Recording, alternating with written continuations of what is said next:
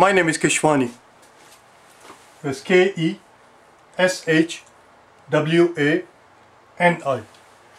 Keshwani.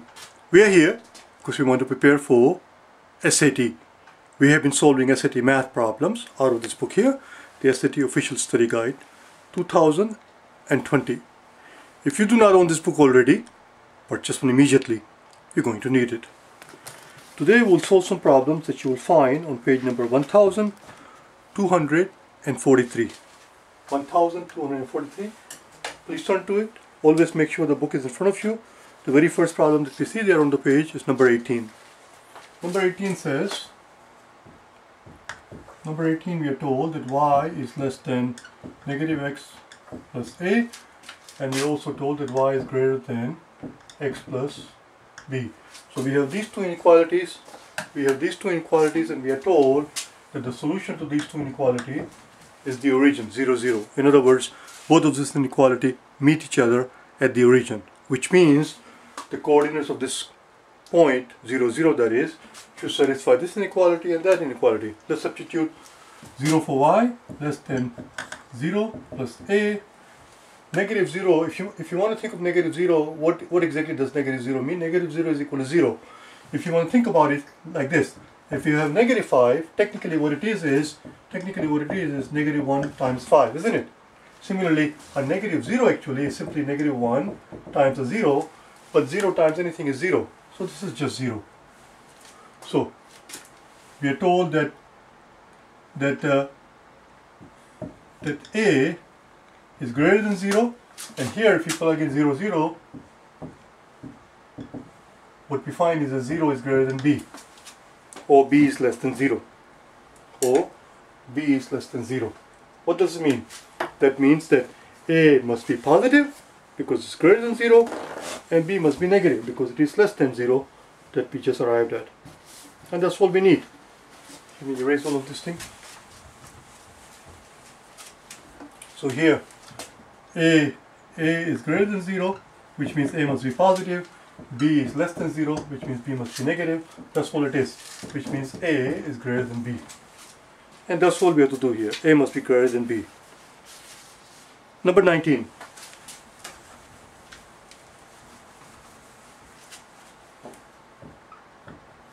Number 19 is a word problem. And in number 19, we are told that we have a food truck and it sells salads and drinks. A food truck that sells salads, which, we are told cost $6.50 each, and drinks, which we are told cost $2 each. We are further told that this truck sold a total of 209 209 salads and drinks. That's our first equation. 209 must equal S plus D, where S stands for number of salads that were sold and D stands for number of drinks that were sold. So we have the first equation here. But that's not enough because we have two unknowns here. Number of salads that were sold, number of drinks that were sold. We have two unknowns. We must have two equations. And not only two equations, but two independent equations. So the second equation comes from the fact that we are told that the revenue on that day when they sold 209 salads and drink happened to be $836.50. That's our second equation. The only problem is that the second equation, the way it's written here in this form, it is of no, not much use to us. We must present it a little bit differently. $836 that they generated in revenue must equal the number of salads that they sold and each was sold for 650 which means 650 times S 650 times S represents the number of money that we get from selling salads plus 2 times D which represents the number of amount of revenue that we generated by selling the drinks. We sold D drinks each for $2. This is the revenue that we generated from selling the salad. This revenue plus that revenue is the total revenue. That's our second equation. There we go. We have two independent equations. We have two unknowns. No problem at all. Question simply is how many salads were sold how many salads were sold. So let's solve, let's solve this equation, D in terms of S, so we can put it in here. This equation, when we solve it, this equation tells us that D must equal 209 minus S. Bring the s to this side. d must equal 209 minus s right here. We're going to put that in here and off we go. 2 times d which is 209 minus s and here we have 650s. Let's open this parenthesis. So we get 418 minus 2s and here we have 650s 650s minus 2s is going to give us 450s and that has to equal plus 4 418 mustn't forget that. Must equal 836 times 836.50 let's pick this story. Let's, let's pick up this story from the top. Because we need the room the very first thing that I'm going to do, I don't know about you, but very first thing that I'm going to do is try to get rid of this decimal. This 50 that we see there, 50 cents, the entire thing is written in dollars. This entire equation is in dollars. So this is actually 836.5, 4.5. You need to, let's get rid of this 0.5, this 50 cents business. And we're going to do that by multiplying the entire equation by 2. Let's do that. Let's multiply this side by 2 and this side by 2 so that so that 50 cents 50 cents times 2 is going to give us a dollar. 836 times 2 let's find out what 836 times 2 is. 836 times 2 is going to give us 12 uh, carry 1 6 and 7 looks like 1672 which makes sense. I don't know why I, I have to do it, do it out. 35 times 2 35 times 2 is 70, so for 36 times 2 must be 72, and then another dollar when we multiply by 2, that's 73. Oh, so then we have to add one more dollar, it's going to be 1673. 836.5 times 2 is 1633, and on this side we have 4.5 times 2 is going to give us 9s plus 4, 418 times 2. 418 times 2, 18 times 2 is 36, so is 836. Let's subtract 836 from both sides. So we end up with 9s is equal to 13 minus 6 would be 7, 6 minus 3 would be 3, and 16 minus 8 would be 8. There you go. 837 would we get here equals 9s. I'm going to erase now all of this bottom part here, we don't need it, so that it doesn't get too crowded.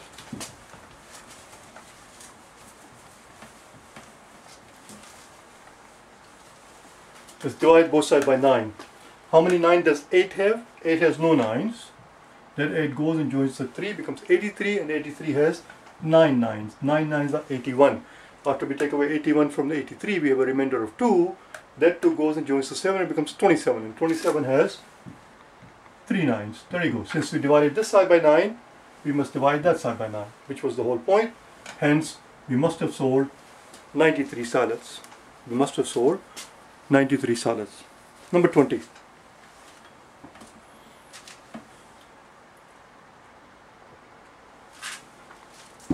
Number 20.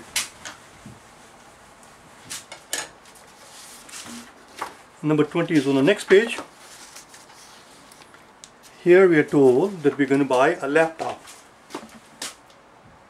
A laptop which we are told happens to be on sale at 20% off. In other words, we are only going to pay 80% of the regular price.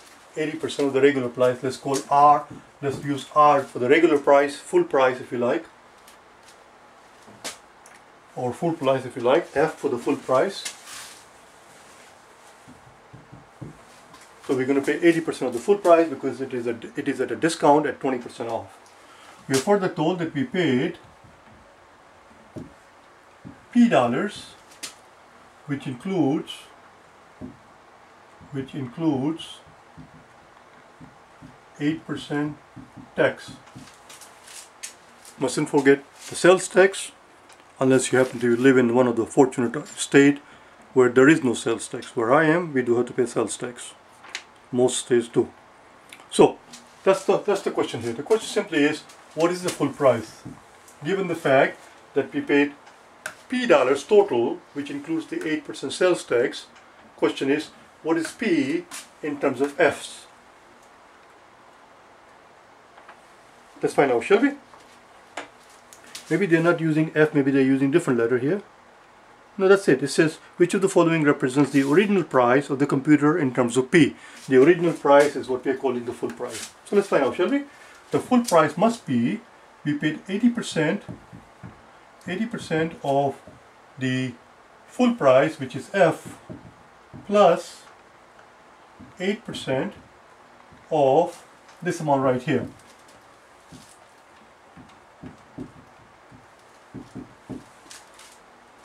This is 8%.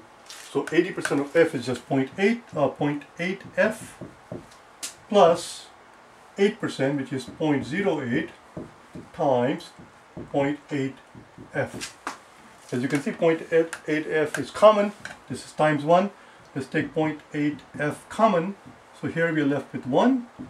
And on this side, we are left with, we took out 0.8F common. So we're just left with 0.08, which simply boils down to 1.08. And that is our, this all of, all of this thing, all of this thing represents the amount that we paid, which we are told that we paid $3. When we walked out the store we had paid p dollars out of our pocket which includes the sales which includes the sales tax so this is equal to p this is equal to p we just have to solve for f in terms of p so f is simply going to be equal to p divided by 0.8 times 1.08. There we go. That is the discount price being expressed in terms of, or rather that is the full price being expressed in terms of the actual amount that we paid, which is P dollars. That was number 21. Uh, that was number 20. Let's take a look at number 21. Let's take a look at number 21.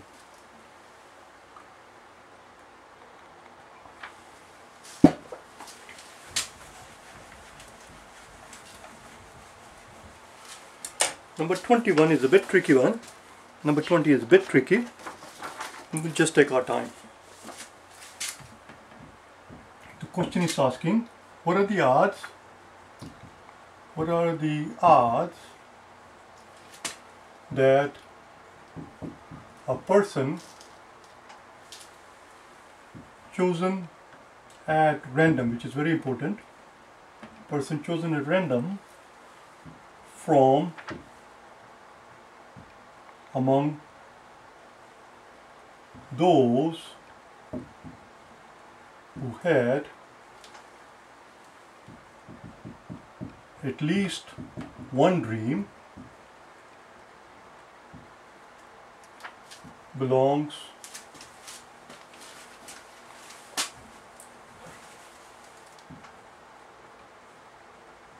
belongs to group Y. Let me erase all of this thing here.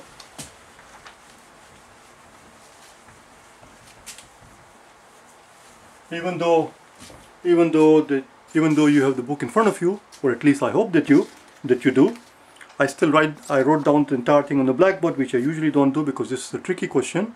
So let's see what the question is actually asking first. Let's make sure that we understand it before we try to solve it. The question is, we're going to pick one person at random. Question is, what are the odds that a person chosen at random from among those who had at least one dream happens to belong to group Y?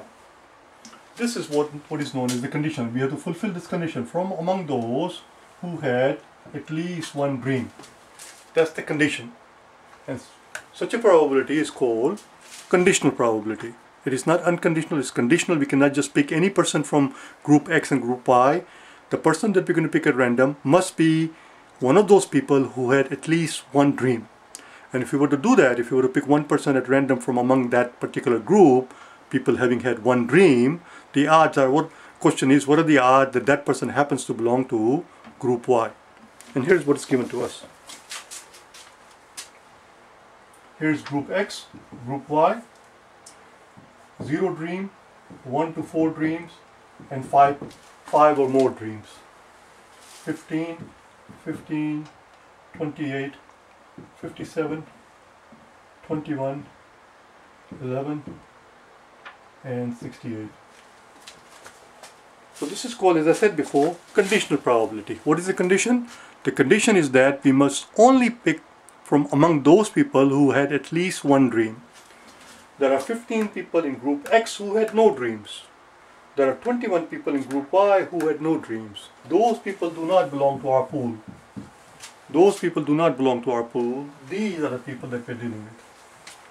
And this is how we write it. Conditional probability is that what are the odds of picking somebody given the fact, given the condition that they had at least one dream. Number of dreams that they had has to be greater than or equal to 1.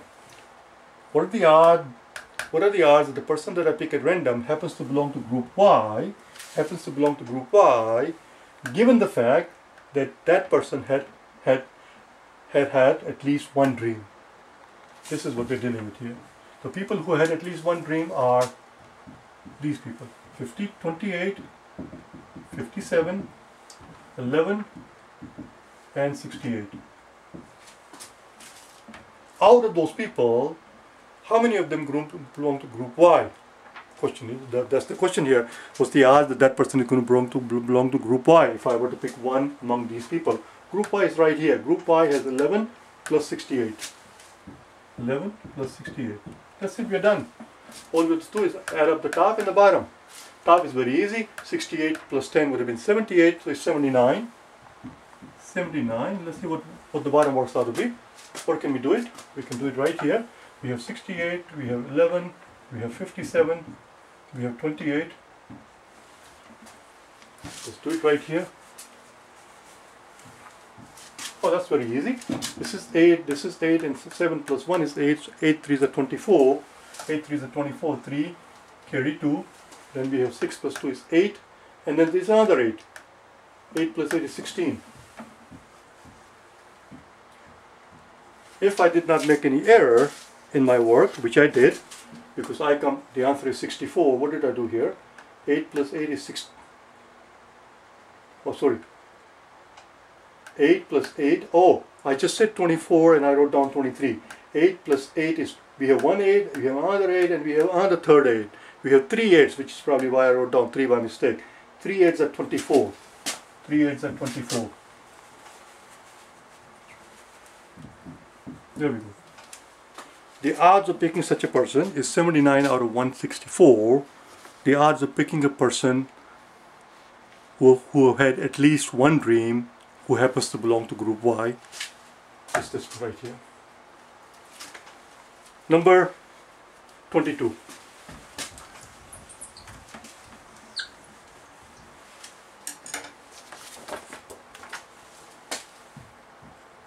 Number 20 is 22 is asking us what is the approximate average approximate average change in budget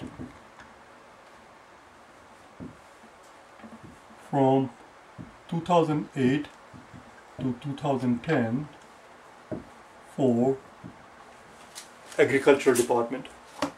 Again you have to have the book in front of you otherwise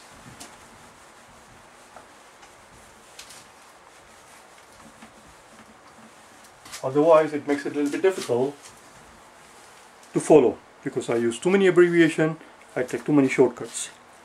I don't write down everything, you understand? Ag stands for agriculture. So here's, here's what's given to us. We are given agriculture, we are given education, we are given general, we are given roads, we are given, I should have written it a bit higher, this is getting too low.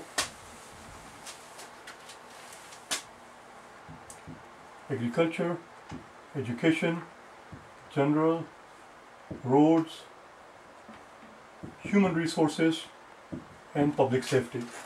And again, if, since if you have the book in front of you, it makes it easier.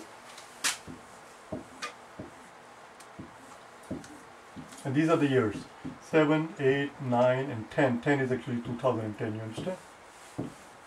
2007, 2008, 2009, and 2010. We're looking for agriculture, we're looking for the average change from 2008 to 2010. Let's look at agriculture right here. Oh, I left no room to put anything. Oh God, I'm so bright.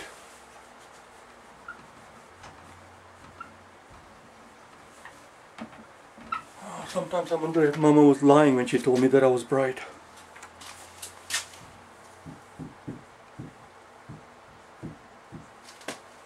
So, for 2008, we have 359 and for 2010 we have 488 there we go. I'm just going to approximate it 488 488 I'm just going to pretend it's 490 and 359 is 360 it's alright it's okay we don't have to be precise. So there we go. So that's just uh, uh, looks like 109 minus 6 is 3 130 now this now the second pitfall here is that we have to understand how many years we are dealing with question here is what is the average change in budget from 2008 to 2010 from 2008 to 2010 how many years is that that's not three years we cannot simply count 2008 2009 2010 that's not how it works from 2008 to 2009 is one year and from 2009 to 2010 is another year it's two years it is 130 divided by 2 the average change in the budget the average change in the budget is simply 130 divided by 2 which is 65 and that's our answer. Let's look at number 23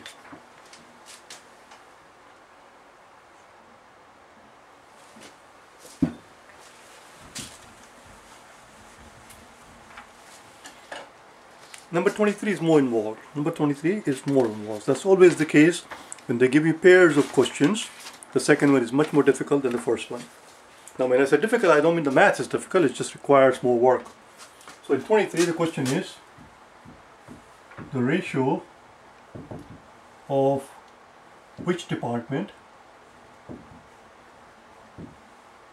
which departments rather apostrophe s budget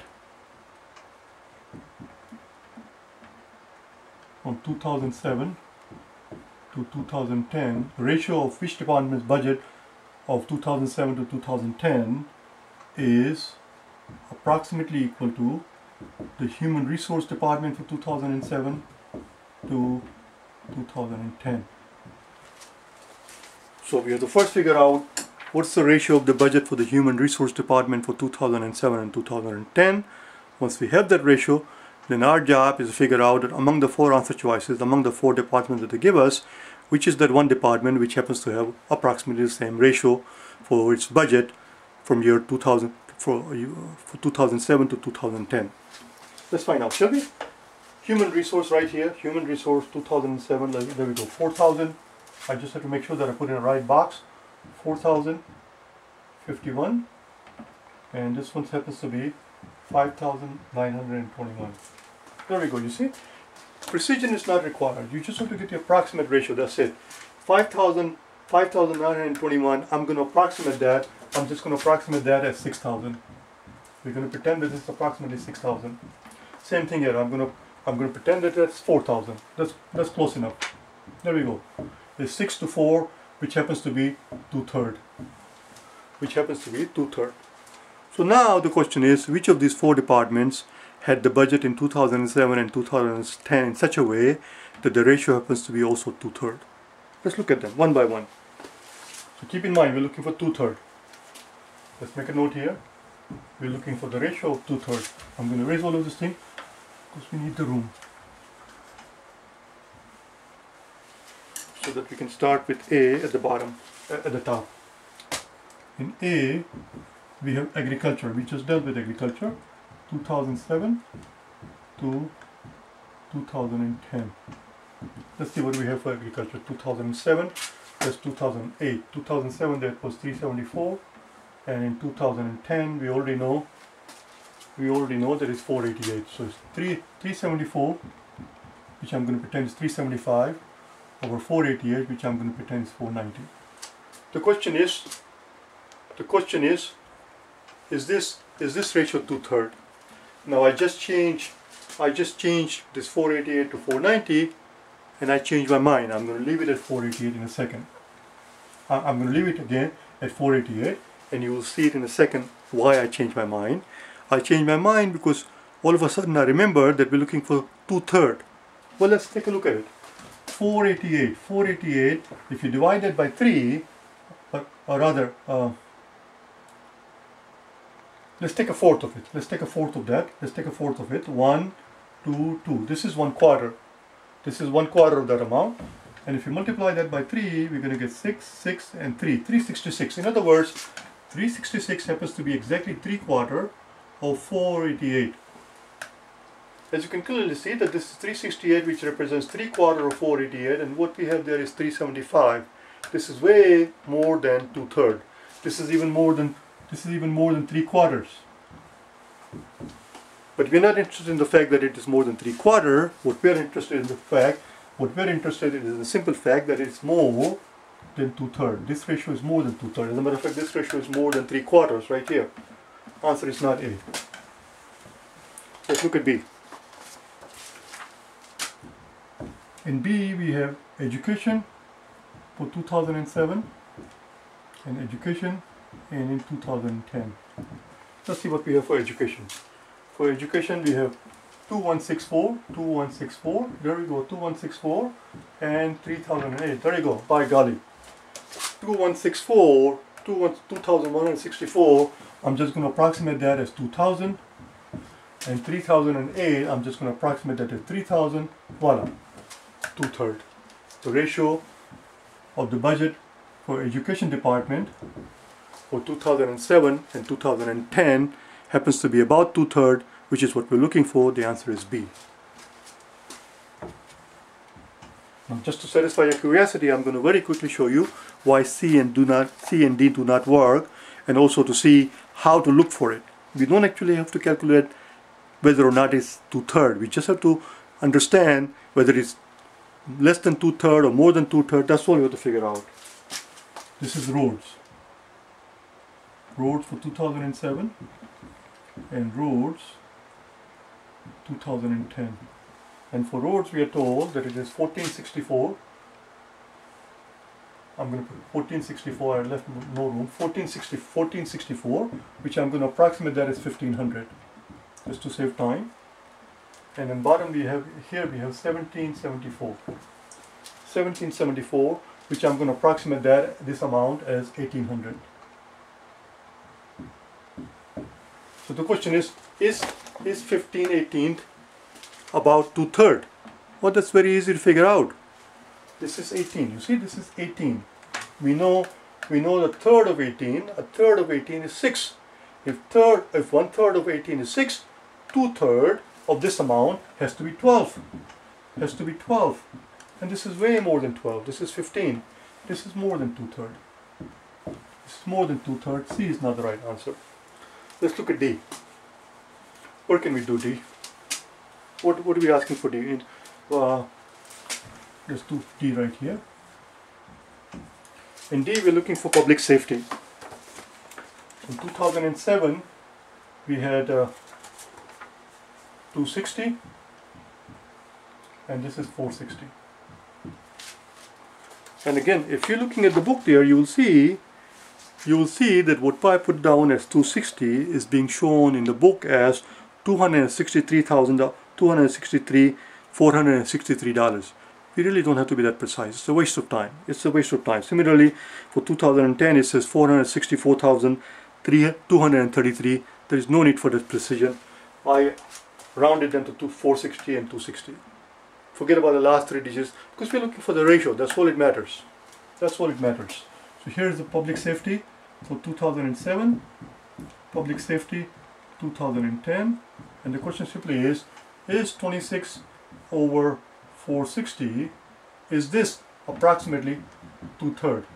That's the question. Is this approximately two-third? Let's find out, shall we? Zeros are going to cancel out. And now what we have to understand is that this is 46. One third of 46, one third of 45 rather, is 15. We know that. There is no reason we have to write it out. You just think about it in just one second. I write it out just, just, for, just for your benefit.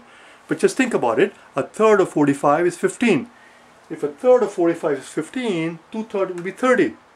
That's one thing. Second thing is that we don't have 45, we have 46, which means two thirds of 46 has to be two thirds of 46 has to be something more than 30 because two thirds of 45 is 30 therefore two-third of 46 has to be something more than 30 do we have something more than 30 on the top no we only have 26 So I don't know what it is. I don't know how much it is exactly, but we do know for a fact that whatever it is, 26 over 46, 26 over 40, whatever it is, is less than 2 thirds. Since it's less than 2 thirds, it's long. The answer is B, as we already established long time ago. We're going to stop right here. We'll meet again tomorrow. We'll pick up from where we left off. In the meantime, if you wish to get hold of me, if you would like to work with me, if you would like me to help you get ready for the exam, I can help you with the math part. As I always tell you, math is not an issue, obviously, but I can also help you with the grammar portion, which is the writing part, and I can most certainly help you with the vocabulary part. And vocabulary is something you can do on your own. As I always remind you, watch the videos on my channel.